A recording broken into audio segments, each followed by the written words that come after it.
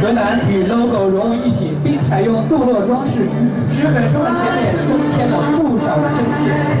前雾灯周围起伏的 LED 灯带，加强了整部车的设计力度和紧凑感。前后车轮上方的两条腰线并没有连接到一起，而是各自自带遥相呼应。